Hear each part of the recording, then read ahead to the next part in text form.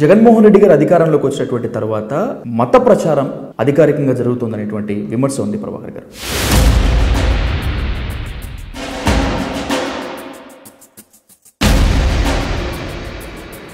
పేదలకు ఇవ్వాల్సినటువంటి దాదాపు ముప్పై లక్షల ఇళ్ళని డిసెంబర్ ఇరవై ఐదునే ఎందుకు ఎంచుకున్నారు? ఇది క్రిస్టియానిటీని జనాల్లోకి తీసుకువెళ్ళటం కాదా అనేటువంటి క్వశ్చన్ కూడా ఉంది. దానికి ఏం చెప్తారు? క్రిస్టియన్ అయితే తప్పేంటి? అంటే మీరు మాత్రం లేస్తే నేను వెంకటేశ్వర స్వామి భక్తుడని చెప్పుకోవచ్చు. జగన్మోహన్ రెడ్డిగా మాత్రం నేను బైబిల్ ప్రకారం నేను బిలీవర్ అని చెప్పుకోవడానికి వీలు లేదా? మీరు ఎందుకు అనుకుంటున్నారు అసలు జగన్మోహన్ రెడ్డి మత మార్పిడి చేస్తున్నారని? అంటే హిందువులు అంత వీక్గా కనపడుతున్నారు మీకు? దళితులు మైనార్టీలంతా జగన్మోహన్ రెడ్డి గారిని ప్రేమించో లేదంటే కనుక గుండెల్లో పెట్టుకొని ఓట్లు వేశారు. రేపు ఎప్పుడైనా కూడా జగన్మోహన్ రెడ్డి గారు వీళ్ళకే ఎక్కువ పట్టం కడతాడేమో అనేటువంటి భయంతో వైసీపీ నేతలే దళితుల మీద దాడులకు తెగబడుతున్నారు. ఇది తెలిసి కూడా జగన్మోహన్ రెడ్డి గారు ఏమీ అనలేనటువంటి పరిస్థితుల్లో సెల్ఫ్ డిఫెన్స్లో పడిపోయారు అనేటువంటిది ఉంది. నిజంగా అలాంటి పరిస్థితి వైసీపీలో ఉందంటారా?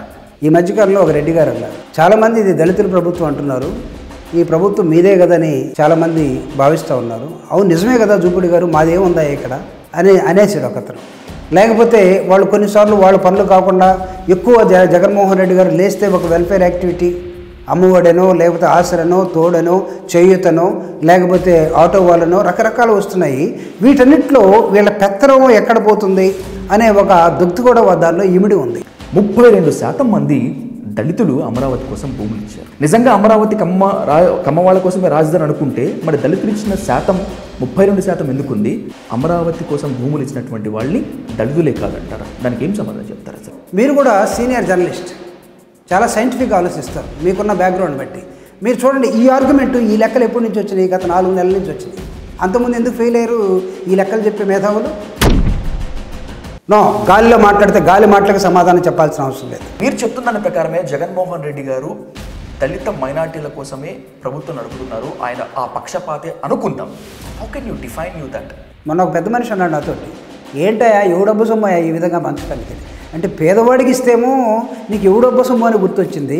ఏ ఒక రెడ్డి గారికో ఒక చౌదరి గారికో ఒక పెద్ద ప్రాజెక్ట్ ఇచ్చే చేసుకుంటే మాత్రం అప్పుడు ఎవరు మాట్లాడరు. ఎవడబ్బు సొమ్ము అని ఇస్తామంటే మీ అబ్బదా? దళితుల అభివృద్ధికి దళితులే నిరోధకులు. దళితులకు ప్రధానమైనటువంటి శత్రుడు దళితులే అనేటువంటి వాదాన్ని మీరు ఏ విధంగా ఆన్సర్ చేస్తారు? మీరు ఆ కుర్చీలో కూర్చున్నారు.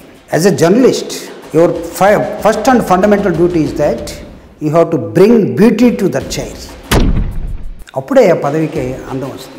దాన్ని మర్చిపోయి భజనలోకి వెళ్ళేవాడు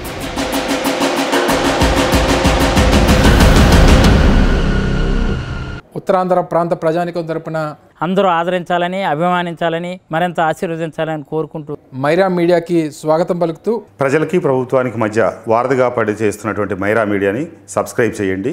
మైరా మీడియాని సబ్స్క్రైబ్ చేయవలసిందిగా నా విన్నపం. Please subscribe Myra media. Please subscribe Myra media. Myra media subscribe చేసుకోండి.